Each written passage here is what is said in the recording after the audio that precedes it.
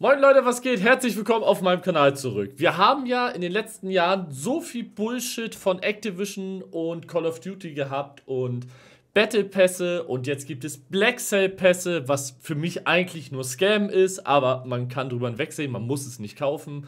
Black Cell Pässe und der Inhalt davon verändern im Prinzip nichts, was, was in-game passiert, sondern nur die Optik. Und auch wenn sich viele wünschen, dass man diese komischen Clown-Skins und diese alle gibt, einfach irgendwie per per Einstellung auf Default setzen könnte, weil die nerven einfach. Ist es alles irgendwie ertragbar, weil man es nicht kaufen muss? und wir eigentlich immer in einem Paket bekommen, was einem versprochen wird. Jetzt die letzten Wochen hat Activision es ja aber erfolgreich geschafft, nochmal ein paar draufzusetzen. Ihr erinnert euch an die Handschuhe, die ihr für 90 Euro bekommt. Wenn ihr aus den bestehenden Bundles bestimmte kauft, zusammenkauft, dann kriegt ihr die Handschuhe. Dann gab es die Remastered Camo aus, ich glaube, World at War sogar, wenn ihr 100 Euro im Shop da lasst. Und ihr seht, wir haben mal angefangen mit 2 Euro Skins in Ghost und sind mittlerweile bei Skins, die teilweise als Package 30 Euro kosten, 30 oder 3000 COD Points, 2400 COD Points. Dann gab es schon Packages, wo ihr drei Stück kaufen musstet, damit ihr den einen Godzilla bekommt. Jetzt gibt es Sachen, die ihr bekommt, wenn ihr 100 Euro ausgebt. Diese Leiter geht immer weiter hoch, immer weiter hoch. Und all das ist meiner Meinung nach schon, gerade wenn man die Qualität von Call of Duty mittlerweile anguckt, Scam, Betrug und Verarsche. Und man geht da mit SBMM auf Dummbauer fangen. Also man sucht sich halt die es klingt blöd, teilweise blödesten Leute raus oder das ist unfair, es ist deren Geld, aber wer so viel Geld für solche Skins ausgibt und dann in dem Game aber auch gleichzeitig reinscheißt, ist ein anstrengendes Thema. Ich finde es nicht geil am Ende, aber ich nehme das mit den Dummbauern raus. Jeder muss mit seinem Geld anstellen, was er will. Auf jeden Fall weiß man ja vorab, was in dem Paket ist. Und ihr wisst, ich spiele seit einem Jahr Hardcore Escape from Tarkov. Ich liebe dieses Game. Kein anderes Game, nicht COD, nichts anderes hat jemals so ein Feeling in mir ausgelöst wie Tarkov. Der PvP ist mega gut, die Game-Mechaniken. Ich bin ein großer Fan von realistischen Waffen. Man hat realistische Waffen, Aufsätze, Heilung. Es gibt ganz, ganz viel realistische Aspekte, die mir persönlich sehr viel Spaß machen. Und der Entwickler davon ist Battlestate Games. Und Battlestate Games hat einen Activision-Move gebracht, den wir nicht mal von Activision erwarten würden.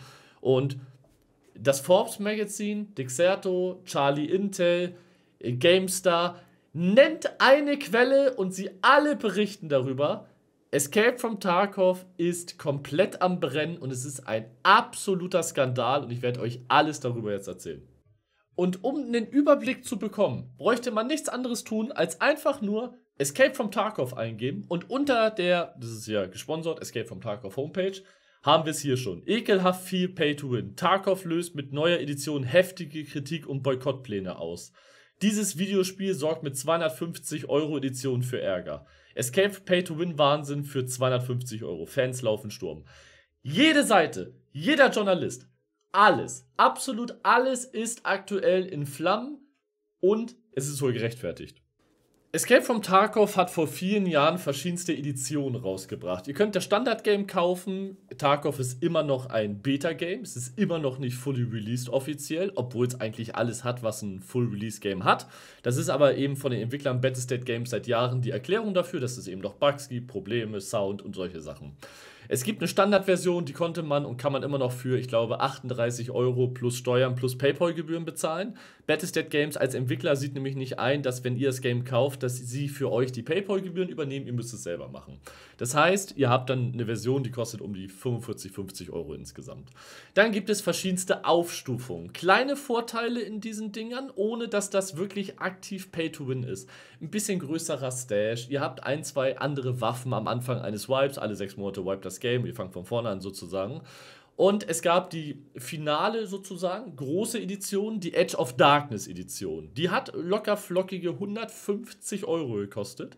Hat sehr viele Vorteile gehabt, die ich mir nach zwei Tagen Standard-Edition gerne geholt habe. Ihr könnt von der Standard auf die EOD hochgraden und zahlt dann eben die Differenz. Das waren locker flockig 150 Euro, hat sich für mich aber von Anfang an gelohnt, denn es gab eben ganz viele verschiedene Boni für den Anfang des Swipes, die mir ein bisschen helfen, die ich cool finde. Äh, es gab einen Sicherheitscontainer. Es gab also sehr viele Vorteile, für die ich gerne bezahlt habe. Vor allen Dingen, wenn ich bedenke, 150 Euro für ein Game, was ich seit einem Jahr spiele und in dem ich 2500 Spielstunden habe. Ich will ehrlich sein, das ist ein absolut fairer Deal. Ich komme in COD pro Jahr nicht mehr annähernd auf so eine Spielzeit. Und da muss ich jedes Jahr aufs Neue 70, 80 Euro zahlen. Die EOD-Version hat auch ein großes Versprechen gehabt und das ist das Thema. Alle zukünftigen DLCs, alles, was an Download-Content für Escape from Tarkov zukünftig kommt, sollte für Besitzer der EOD-Version automatisch kostenfrei dabei sein. Das ist ein wunderbarer Deal. Alles, was dieses Game bis zum Full Release bringt und danach kriege ich als EOD-Besitzer umsonst dazu. Dafür habe ich aber auch einmalig mehr bezahlt als alle anderen. Battlestat Games braucht Geld. Sie haben sich mit einem Sidegame, äh, Tarkov Arena, ist im Prinzip Tarkov Mechaniken, nur eben auf eine kleine Arena zusammengeschrumpft sozusagen. 5 gegen 5, 6 gegen 6, 4 gegen 4. Hat sich komplett verkalkuliert. Spielerzahlen sind komplett auf Null. Das Game hat komplett gesackt und sie haben Hunderttausende, Millionen an Promokosten die letzten zwei Jahre für Gamescom-Auftritte und sonstiges ausgegeben. Und dadurch, dass man das Game einmal kauft und es keinen Battle Pass gibt und bis vor kurzem auch nichts, was man in-game kaufen konnte, um die wirklich für Skins und sonst was zu unterstützen, brauchten sie Geld. Und anstatt aber coole Handschuhe reinzubringen, vielleicht Skins, die man nicht auf Waffen tut, das würde nicht passen in dem Game, aber eben für, für Koffer im Game, für Item Cases, für, für alle Sachen, wofür wir Spieler alle gerne einfach Geld ausgeben, haben sich entschieden, komplett auf die Community zu scheißen, komplett alle anzulügen und haben, nachdem es die EOD-Version nicht mehr gibt, einfach eine neue Version rausgebracht, die insgesamt, wenn ihr das Game nicht habt, 308 Euro kostet. Oder ein Upgrade, wenn ihr EOD schon gekauft habt, 150 Euro damals, nochmal über 150 Euro, wo ihr noch mehr Boni habt, größere Pockets, noch mehr bessere Waffen am Anfang. Euer Charakter ist von Anfang an des Wipes stärker als der von einem Standard-Account, den man dann erst hochleveln muss. Und ein PvE-Modus. Das heißt, Arena Tarkov ist für die ein DLC gewesen. Arena Tarkov war für alle EOD-Besitzer gratis, schon mit drinne.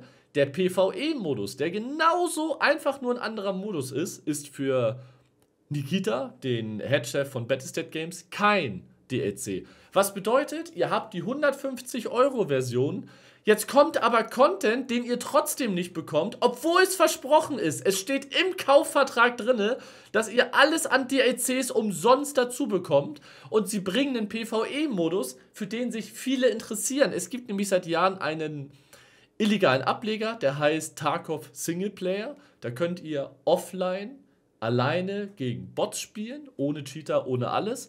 Und dieser Offline-Modus hat sehr, sehr viele Fans in der Community. Und genau diesen Offline-Modus hat Battlestat Games einfach jetzt kopiert und hat gesagt, wenn ihr den haben wollt, braucht ihr nicht die EOD-Version, sondern die neue Version, die euch anbieten, ohne mit einem vorher darüber zu sprechen. Kostet schlappe 308 Euro mit PayPal-Gebühren und Steuern.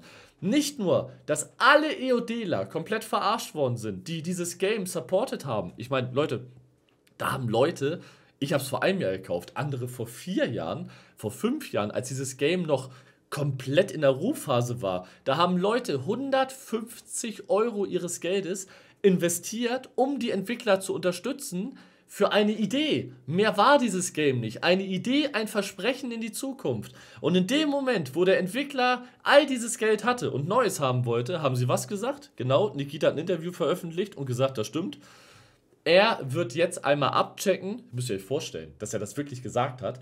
Er wird abchecken, wer die True Believers sind. Also er möchte jetzt anhand dieser Entscheidung auch mal gucken, wer eigentlich die Hardcore-Fans sind und wer nicht. Das heißt, wenn ihr vor fünf Jahren den Entwicklern, die noch nichts fertig hatten, 150 Euro vorab in die Hand gegeben habt für das Versprechen, dass sie ein gutes Produkt herstellen, werdet ihr drei, vier Jahre später als ungnädig Idioten bezeichnet er guckt er sich an, welche Cash Cows er richtig schön melken kann mit dieser neuen Version. Und ich muss ganz ehrlich sagen, jeder, der diese neue Tarkov-Version für 308 Euro kauft, ist nicht mehr ganz bei Sinn. Bitte, wirklich. Das, ist, das sind 308 Euro für ein paar kleine Features und einen schlechten PvE-Modus, während alle anderen schon die Hälfte dafür bis vor einem Jahr gezahlt haben und diesen Content nicht bekommen, obwohl es versprochen ist. Und das, Leute, hat für so viel Aufruhr gesorgt, dass die größten Streamer wie Landmark, deutsche Streamer wie Meyer dieses Game deinstalliert haben, was unglaublich ist und gesagt haben, es reicht. Die gesamte Community, selbst die Mitarbeiter von Battlestat Games, es gibt Emissionaries, das sind Leute, die zwischen Entwickler und Spieler und Community so ein bisschen verbinden und vermögen sollen. Selbst die wenden sich ab und sagen, nein, wir können und wollen das nicht akzeptieren. Und wenn ihr auf die verschiedensten Homepages geht, selbst die Computerbild schreibt darüber. Es ist absolut insane, dass eine gesamte Community, das habe ich so noch nie erlebt, so einig ist, dass so etwas eine, von einem Spielerentwickler nicht geht. Und die Tatsache ist, ich liebe dieses Game. Ich wäre bereit, viel Geld für dieses Game separat auszugeben. Ich wäre absolut bereit, Geld in dieses Game für Handschuhe für mein PMC zu investieren. Ich wäre absolut bereit, für Skins für meinen Charakter Geld zu investieren. Einfach, weil es ein Game ist, was mir Stunden über Stunden Fun bringt. Dieses Game hat dafür gesorgt, dass ich meinen Twitch-Stream und die Qualität davon und den Fun, den ich am Stream und Game habe, komplett neu entdeckt habe, was in COD schon seit Jahren nicht mehr war. Viele Spieler, und dieses Game hat Hunderttausende von Spielern, super viele Spieler von uns, Creator, sonst was, sind bereit, Geld auszugeben. Es geht nicht darum, dass niemand Geld ausgeben möchte. Und es ist krass, dass man ein Game, was man so viele Stunden spielen möchte, für theoretisch 39 Euro Standardversion kaufen kann. Aber dann muss man als Entwickler sich eben etwas einfallen lassen, was nicht Scam ist. Battlepässe, sinnvolle Waffenskins, Itemskins, Handschuhe, die, die man beim PMC sieht, die vielleicht cool aussehen, Tattoos, gewisse Kleidungsstücke. Es gibt so viele Optionen, die man nehmen könnte. Aber als Entwickler zu sagen, ich scheiß auf alle, die uns unterstützt haben, von mir aus können die alle gehen, ich will wieder neues Geld haben und bringt so eine Scam-Version raus, ist der größte Bullshit, den ich meiner gesamten Zeit als Streaming-Creator, Spieler gesehen habe. Und das sagt jemand, der seit Jahren Activision verfolgt und der jeglichen Scam eigentlich schon gesehen hat. Ich weiß, das ist kein COD in dem Sinne, aber ich wollte gerne mit euch darüber einmal sprechen, weil ich dermaßen sauer darüber bin und dermaßen enttäuscht, dass Leute wie wir, die in solche Games und auch solche Ideen viel Geld investieren, weil sie daran glauben, dermaßen verarscht werden. Battleset Games versucht jetzt seit eineinhalb Tagen das Ganze so ein bisschen wieder aus dem Feuer zu kriegen. Ich glaube aber, dass nicht nur viel Vertrauen hier verloren gegangen ist, sondern auch viele Spieler und Creator, die sagen, ich habe mich ausreichend verarschen lassen, ich bin nicht mehr bereit, es weiterzutragen. Ich hoffe, Leute, ihr habt trotzdem ein schönes Wochenende. Ich hab euch lieb. Haut rein.